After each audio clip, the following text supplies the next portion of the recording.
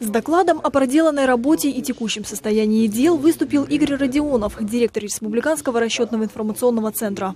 Роль нашего центра, она в первую очередь заключается в том, чтобы наше население получало качество обслуживания со стороны коммунальных служб. В данном случае сейчас это делают э, так называемые единые окна э, нашего республиканского центра.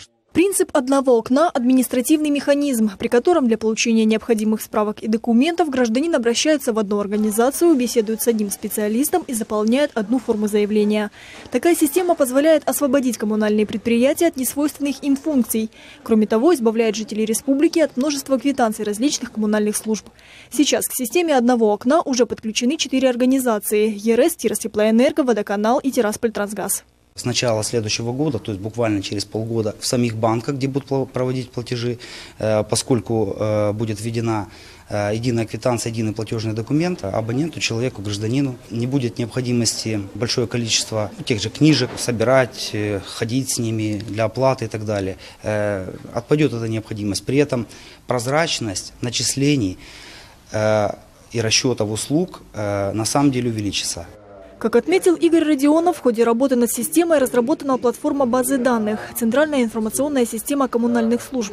Также для унификации основных республиканских справочников общего пользования создан единый классификатор адресов Приднестровья. Он будет хранить истории изменений по каждому адресному объекту. Единый классификатор адресов уже внедряется в коммунальные службы и доступен для скачивания на официальном сайте предприятия. Очень многие граждане, наверное, большинство граждан, они знают о своих обязанностях. Очень мало граждан знают о своих правах. Я сейчас говорю о льготах.